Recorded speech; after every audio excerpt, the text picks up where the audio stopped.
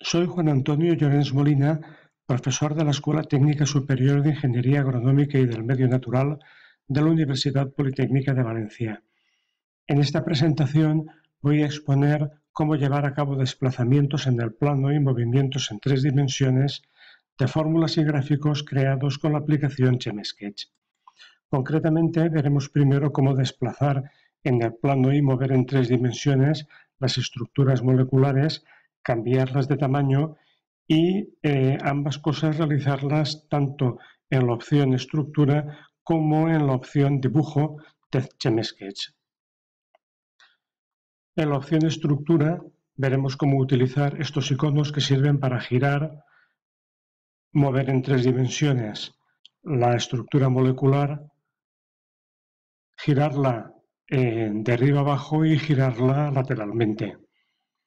En el caso de la opción dibujo, también podemos girarla y luego realizar una serie de operaciones similares, voltearla lateralmente, de arriba abajo, girarla 90 grados o situarla en distintos puntos de la página. Para ello vamos a entrar en la aplicación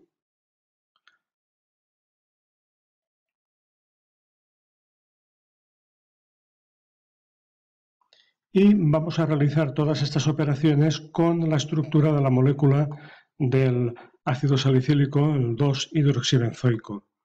Lo primero que hacemos es seleccionar y con esta opción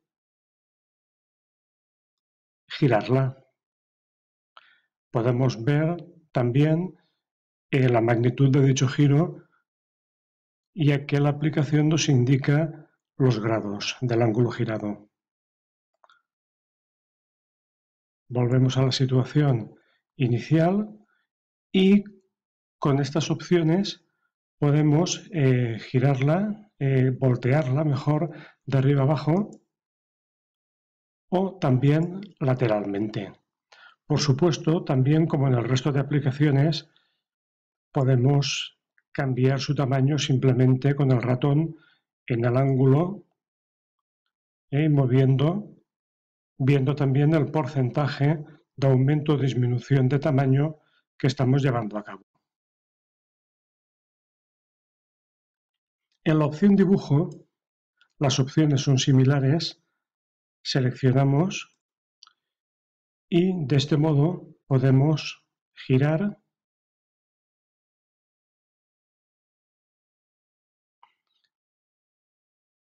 dar la vuelta lateralmente de arriba abajo o girar 90 grados. También, si vamos aquí, hay distintas opciones para situar en la página la estructura que hemos creado. Aquí la alinearíamos a la izquierda, más o menos donde ya está, al centro y a la derecha. Y con estas opciones podremos ver cómo se alinea en la parte inferior de la página, en el centro o arriba. Si la situamos de nuevo en el centro, ahora mismo estaría arriba. Aquí veríamos que queda en el centro y también podemos situarla bajo del todo. Bien, pues para practicar todas estas opciones que hemos visto, podemos realizar el siguiente ejercicio. Volvemos a la presentación y el ejercicio que proponemos es este. Es aplicar en la molécula de timol todas las opciones que hemos visto. Para ello lo mejor es parar el vídeo y abriendo la aplicación, intentar realizar todas esas opciones, si es posible copiar y guardarlas en una presentación de PowerPoint, por ejemplo, o en un archivo de Word para contrastar después en la diapositiva próxima donde están las soluciones qué tal se ha realizado el ejercicio. Hacemos eso, paramos el vídeo, llevamos a cabo el ejercicio. Bien, pues estas serían las soluciones para cada una de las opciones que hemos visto, ¿eh? tendríamos una posible solución, una imagen. Evidentemente, el giro y la situación puede ser diferente, pero se aprecia muy bien en cada caso si se ha llevado a cabo correctamente o no.